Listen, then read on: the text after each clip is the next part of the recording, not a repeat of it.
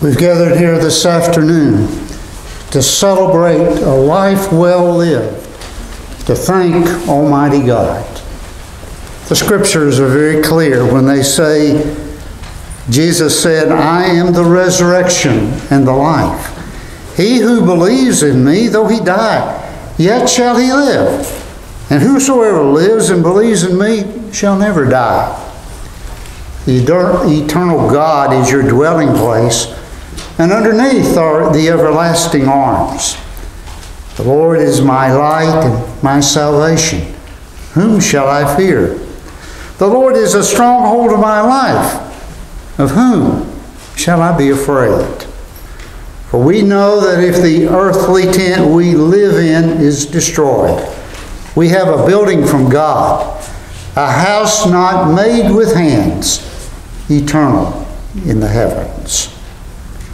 Let us pray together. Almighty God, our Father, from whom we come and unto whom our spirits return, you've been our dwelling place in all generations. You are our refuge and strength, a very present help in trouble. Grant us your blessing in this hour and enable us so to put our trust in you that our spirits may grow calm and our hearts be comforted. Lift our eyes beyond the shadows of earth and help us to see the light of eternity. So may we find grace and strength for this and every time of need. Through Jesus Christ our Lord. Amen. We're going to begin by singing Blessed Assurance. The words are in your bulletin and they will also be on the screen if you would stand as you're able.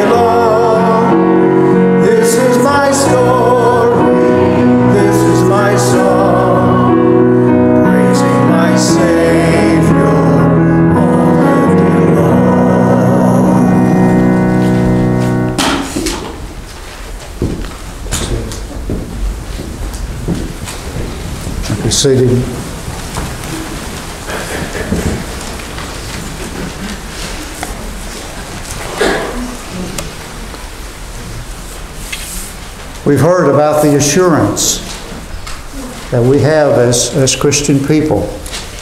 Now let's repeat together the 23rd Psalm, the most beautiful words of comfort in all the Bible. You will find them also in your bulletin and on the screen. The Lord is my shepherd, I shall not want. He maketh me to lie down in green pastures. He leadeth me beside the still waters. He restoreth my soul. He leadeth me in the paths of righteousness for his name's sake. Yea, though I walk through the valley of the shadow of death, I will fear no evil, for thou art with me. Thy rod and thy staff, they comfort me. Thou preparest a table before me in the presence of mine enemies. Thou anointest my head with oil. My cup runneth over. Surely goodness and mercy will follow me all the days of my life, and I will dwell in the house of the Lord forever. One of my favorite psalms, and I know was a favorite psalm of, of Jerry's, is the 121st psalm. Hear now the reading of that, that passage. I lift up my eyes to the hills, from whence does my help come? My help comes from the Lord who made heaven and earth. He will not let your foot be moved. He who keeps you will not slumber. Behold, he who keeps Israel will neither slumber nor sleep. The Lord is your keeper. The sword, the Lord is your shade on your right hand. The sun shall not smite you by day, nor the moon by night. The Lord will keep you from all evil. He will keep your life. The Lord will keep your going out and your coming in from this time forth and forevermore. Thanks and praise to God for this glorious psalm.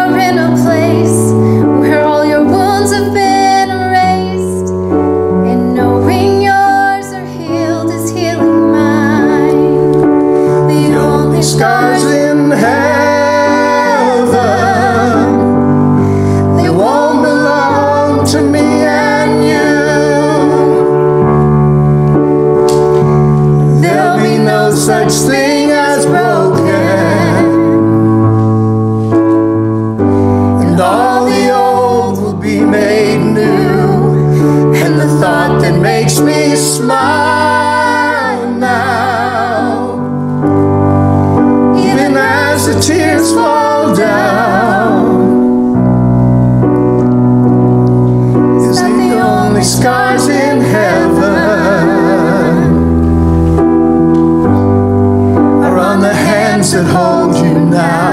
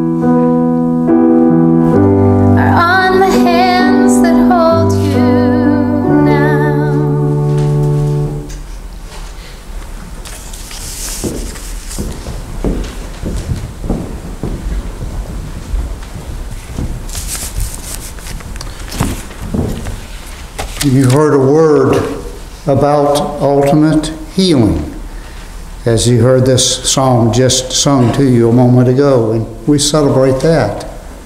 But Paul also has something to say to the, to the people of Corinth about eternal life. Hear these words from 1 Corinthians, the 15th chapter.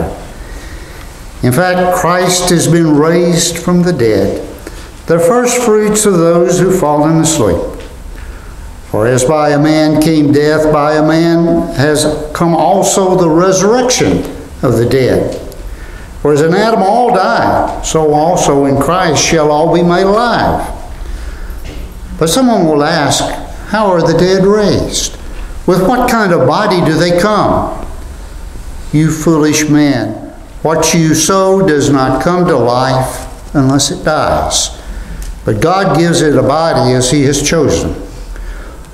So is it with the resurrection of the dead. What is sown is perishable, what is raised is imperishable. It's sown in dishonor, it's raised in glory. It's sown in weakness, it's raised in power. It's sown a physical body, it's raised a spiritual body. If there is a physical body, there's also a spiritual body. Just as we borne the image of the man of dust, we shall also bear the image of the man of heaven. I tell you this flesh and blood cannot inherit the kingdom of God, nor does the perishable inherit the imperishable. Our Lord told us that He was preparing a place for us. And we hear about that in John's Gospel. Let not your hearts be troubled. Believe in God, believe also in me. In my Father's house are many rooms. If it were not so, would I have told you that I go to prepare a place for you? And when I go and prepare a place for you, I will come again and will take you to myself, that where I am, you may be also. And you know the way where I'm going. Thomas said to him, Lord, we don't know where you're going. How can we know the way? And Jesus said to him, I am the way, the truth, and the life. No one comes to the Father but by me. If you had known me, you would have known my Father also. Henceforth you know him and have seen him. If you love me, you will keep my commandments.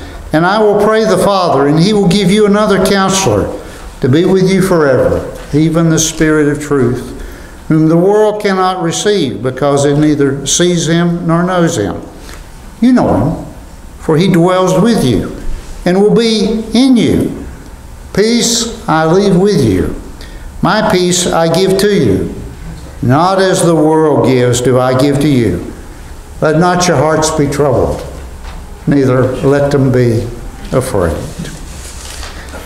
One of Jerry's favorite hymns was The Old Rugged Cross, and we're going to sing it now together. Let's stand as we sing together.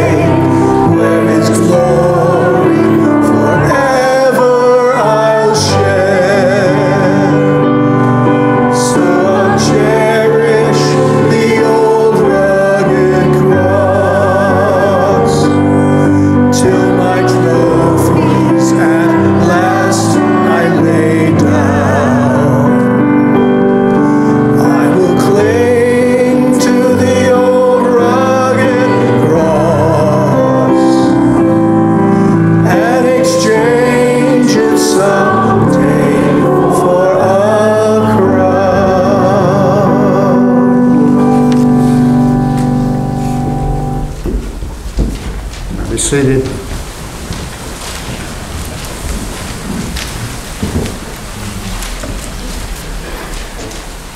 Let us join in a moment of prayer.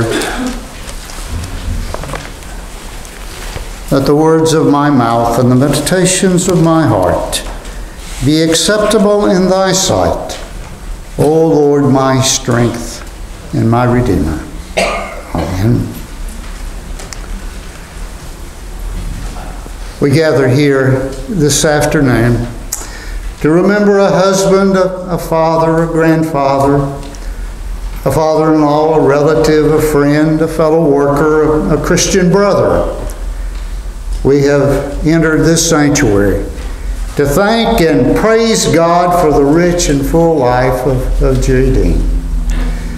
We learn a lot about a, a follower of Jesus Christ in, in knowing the scripture which speaks to that person. For Jerry, that 123rd Psalm offered words of inspiration to him. We read it just a few moments ago. The psalm questioned, From whence does my help come? And the response is, It comes from the Lord, the one who made heaven and earth. His care of us is so complete that he will neither slumber nor sleep. The Lord will keep your, your lives. And we hear Jerry's favorite verse The Lord will keep you going out and you coming in from this time forth and forevermore. My experience of Jerry is that he lived in that very assurance. As a young man, he, he took a 90 foot fall from a, from a boiler. And though he, he broke his pelvis and had many lacerations from trying to grab everything on the way down, he recovered miraculously and, turn, and returned to his work with confidence. Jerry and Linda have made uh, multiple moves across the, this country. Wherever they and, and the girls went, they found a worshiping community and settled in. Whether in Ohio or Kansas or North Dakota or Washington State or California or here in Georgia, they found a community of believers and experienced again that the Lord kept their going out and their coming in.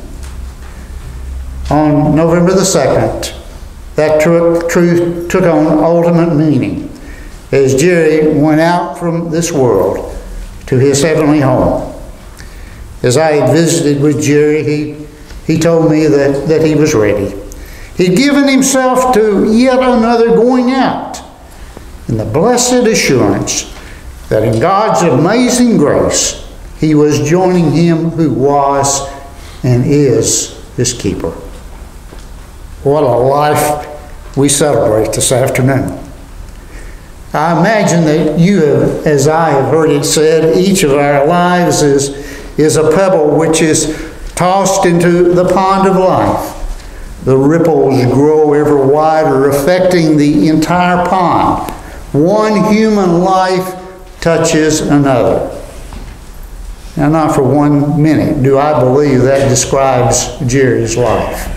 Not for one minute. Let's face it, he was not a ripple. He was a wave, even a big white cap. He was a wave in the very best sense of the word. As I sat down with Lynn and a couple of the daughters a, a few days ago, what I knew was, was clearly affirmed. Jerry lived full speed ahead they, they laughed as they, as they told me how he taught them to drive. Road conditions were no issue to him. He drove the same way in ice and snow as he did in the heat of Texas, namely full speed ahead. It was that positive, we can do most anything attitude that, that caused us to like him so much. He was a wave, not a ripple. The effects of that wave are, are all around us in, in this very building, around you today. When you uh, came through the entranceway to, to this sanctuary, you saw his skill, his leadership, and work. The architect told us that, that we could improve our appearance from the road if we would add steps and enclose the overhang at the front of this building. And so Jerry organized and worked with a team of men to, to get it done. We wanted to, to make the cross up here unobstructed at the center of our worship. And so Jerry and the trustees and a team of others got in here and reinforced the front of this sanctuary and prepared for the stonework that you see before you. He was a wave, not a ripple. When a frozen pipe flooded this building, Jerry and the trustees and a host of other volunteers were here to clean up and begin repairs. They prepared this building for painting and new carpeting and hallway flooring. You can't look around this building without seeing the handiwork of Jerry. No ripple could touch so much and make the difference this wave did. Back three years ago, we started talking about the need to have more space here at Lanier. Our fellowship hall is so small and we need to upgrade from the modulars that are out at the back of our property. And who could be better to help us plan and vision this project than, than Jerry? He spent hours upon hours getting the plans just right. The pricing was projected and of course we were ready to bid the work. And at that time, supply line problems and inflation set in. With his steady hand and that of several other leaders in this church and the blessing of Almighty God, we found a way. A contractor was, was chosen, and after the issues of permitting, the work began.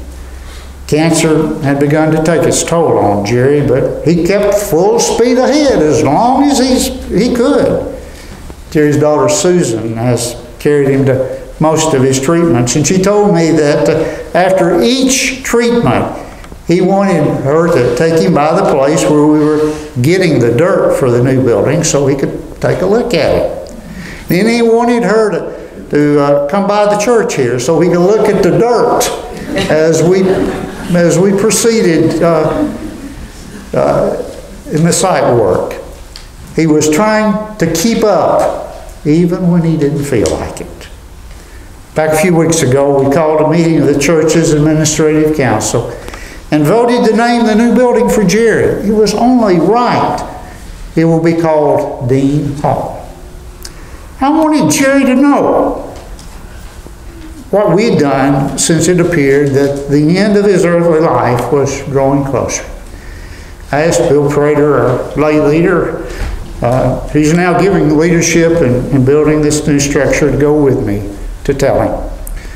Bill brought along a schedule that uh, would tell how the new building would evolve and, and a timeline.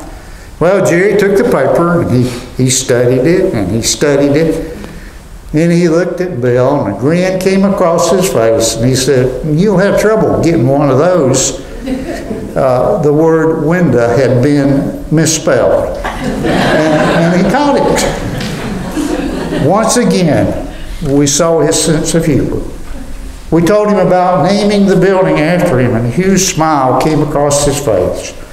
Right up to the end of this earthly life, he was engaged in the work at Lanier Church. He was no ripple, my friends. He was a wave. Now, let me tell you something else about this wave. I would not be exaggerating to tell you that the majority of us here today have personally been recipients of God of Jerry's caring deeds. If someone had uh, something in need of repair, a roof leak, a deck with rotting boards, a, a wall that needed to be fixed or moved, steps built, and I could go on and on. He, he would get a team from the church and, and do fantastic things. He loved people and cared for those around him. He was a wave that reached further and lifted higher than any ripple ever could. For a number of years, Bill, at Bill Prater's encouragement, the United Methodist Men of our church have gone up to our camp, Camp Glisson in Dahlonega, and done some project before the opening of summer camp. I was there when we rebuilt the, the boathouse, when we put some of the finished uh, touches on the the outpost outdoor camping unit, and when we re- rebuilt the deck at uh, Camp Sparrowwood, the Sparrowwood, the uh, unit for campers with developmental disabilities. The maintenance team at Glisson always loved to see Jerry coming because he brought such expertise. As late as May of this year, he was on scene operating the chop saw. Early on in my time here at Lanier, we, we took several of our congregation members to build a Habitat house down in Atlanta. I'd known the project manager of that uh, Habitat ex- expression from building houses with him before. The end of that day, the manager came over to me and thanked me for bringing our team. He said, In all my years, I've never had a team with so much skill as the one you brought today. I knew that was because of Jerry. He was wandering around on, on the roof of that house and doing hard work that others didn't feel comfortable doing. Yes, Jerry was wave, not a ripple. That wave has reached most of us and thousands of youth at, at Camp Glisson and families who live today with pride in their own homes since Jerry's passing to their heavenly, his own heavenly home. I, have heard more stories about him than you can ever imagine. Just mention him and someone has a memory. The time I spent with Linda and daughter Susan and Jessica caused me to fully understand the depth of, of Jerry's love for Linda and his entire family and their love for them, for him. There was simply a joy in their memories that, that sent me away fully aware of how much they loved each other. I've heard Jerry talk about his grandchildren and, and how proud he was of them. One event that sticks in my mind was how he wanted to, to leave them some building skills, and so he decided he'd have them erect a shed. Truly, he was a teacher.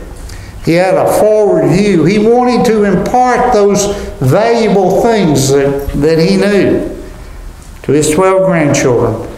I want to say that you're the descendant of a man whose character, whose faith journey, whose love for his family will bring you pride throughout your lives. And to his daughters, Elizabeth, Jennifer, Rebecca, Jessica, and Susan, I know his love and admiration for you how you've given so much of yourselves in caring for him these last days. Linda, I've watched as you spent long days and sleepless nights in, in making him comfortable. The depth of your love for him was so very obvious.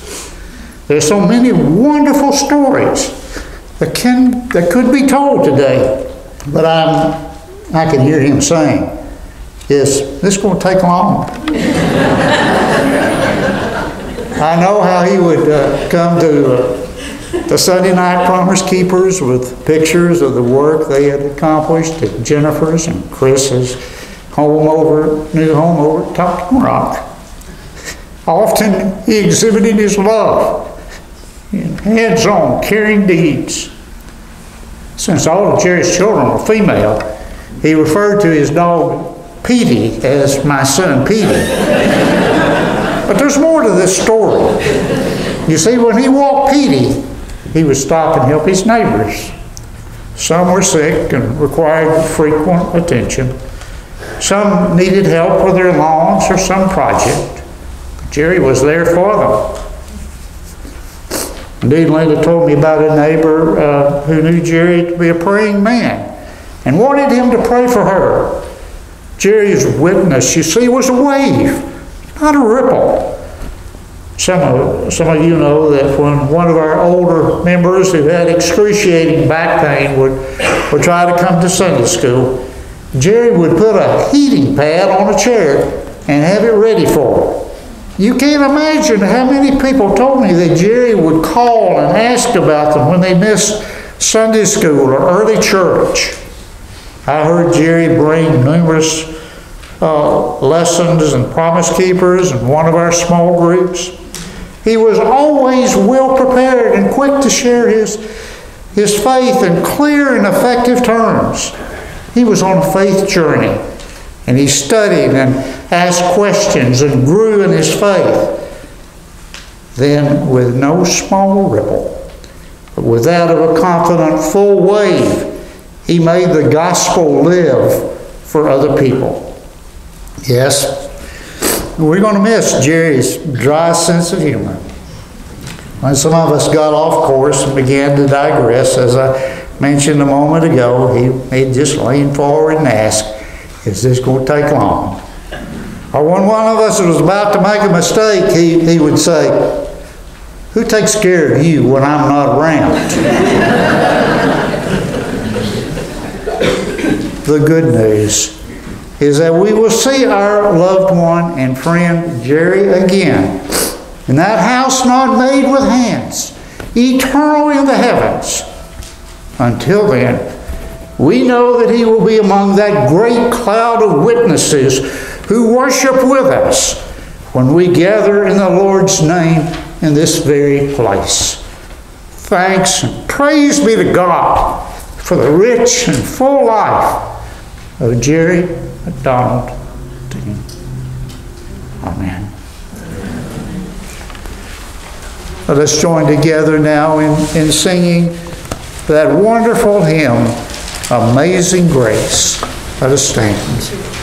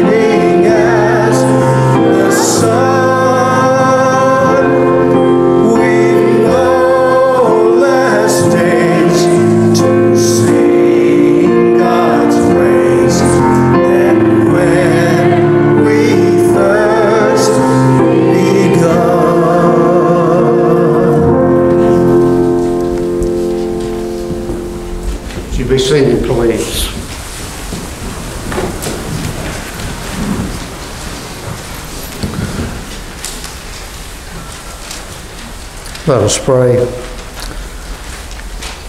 Almighty God, you're leading us through the changes of time to the rest and blessedness of eternity. Be near to comfort and uphold. Make us to know and feel that your children are precious in your sight, that they live evermore with you, and that your mercy endures forever. Thankful for the life of Jerry Dean, which you have given us for these seasons. We pray your help now to resign it obediently unto you. Assist us to return to the scenes of our daily lives and to bear our trials with fortitude and hope. And when the peace of death falls upon us, May we find our perfect rest in you through Jesus Christ our Lord. Amen.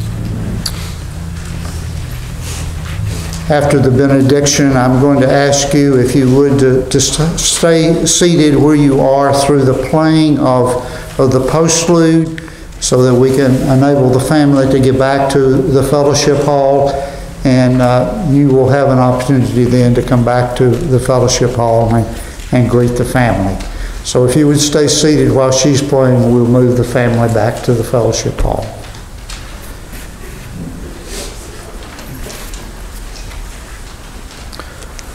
And now may the peace of God, which passes all understanding, keep your hearts and minds in the knowledge and love of God and of His Son, Jesus Christ our Lord.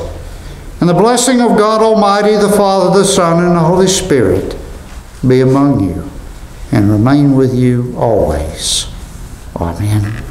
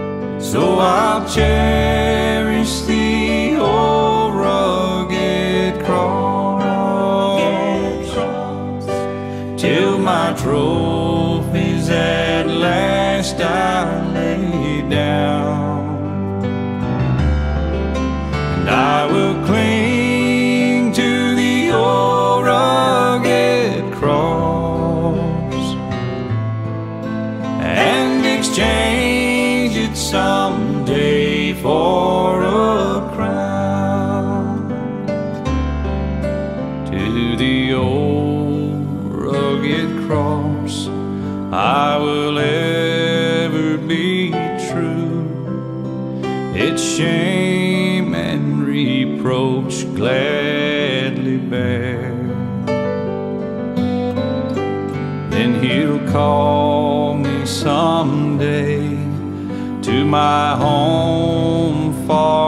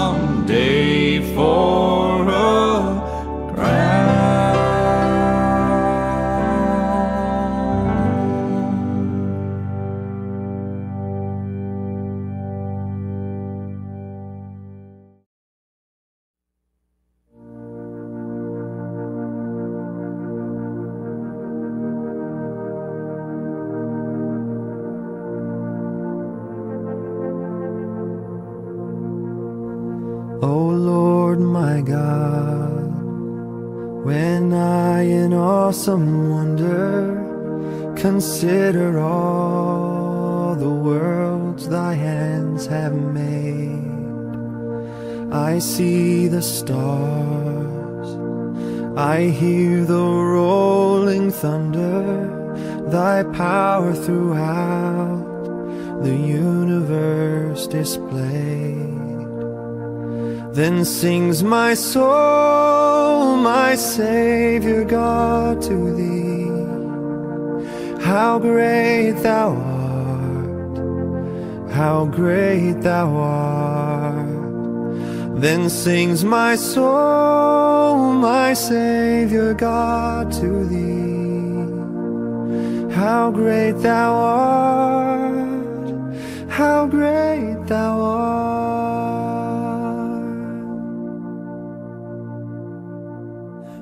Through the woods and forest glades I wander and hear the birds sing sweetly in the trees. When I look down from lofty mountain grandeur and hear the brook and feel the gentle breeze. Then sings my soul, my Savior God, to thee. How great thou art, how great thou art. Then sings my soul, my Savior God, to thee. How great thou art, how great thou art.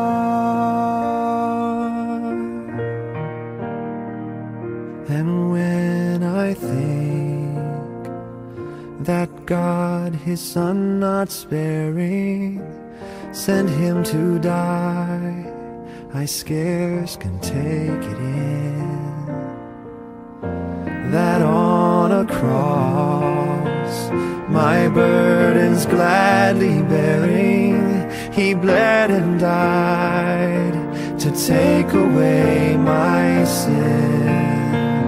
Then sings my soul, my Savior God, to thee. How great thou art, how great thou art. Then sings my soul, my Savior God, to thee. How great thou art, how great thou art.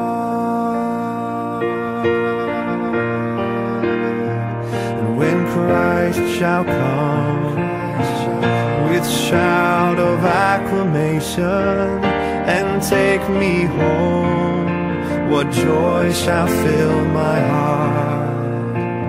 Then I shall bow in humble adoration and there proclaim, My God, how great thou art. Then sings my soul, Savior God, to thee. How great thou art, how great thou art. Then sings my soul, my Savior God to thee. How great thou art, how great thou art, how great thou art.